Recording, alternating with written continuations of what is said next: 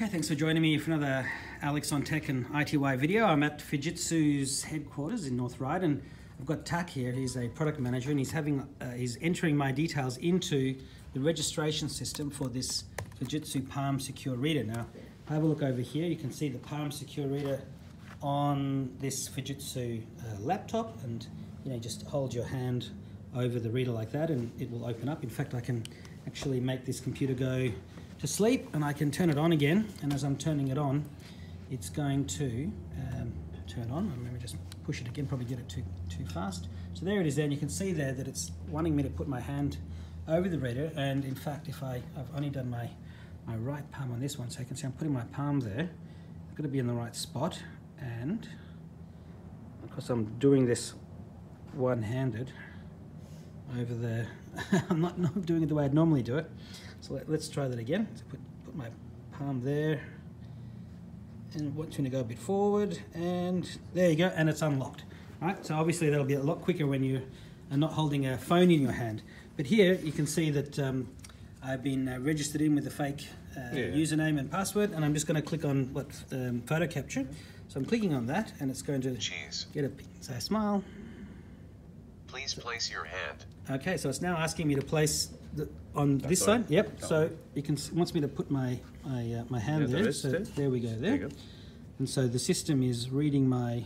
So it's asking me to please move my hand away from the sensor. And so it wants me to place my hand again. Same so position, I'm, I'm, doing that same position.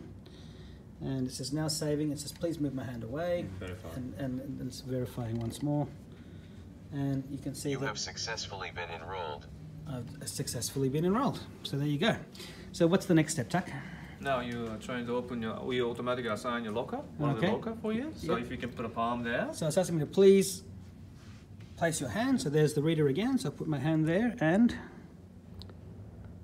please move my hand slightly away. Oh yeah, please place your hand. Yep. Okay, don't move my hand. Now authenticating and now you, there you go. And I have a, a charging cable or something in here.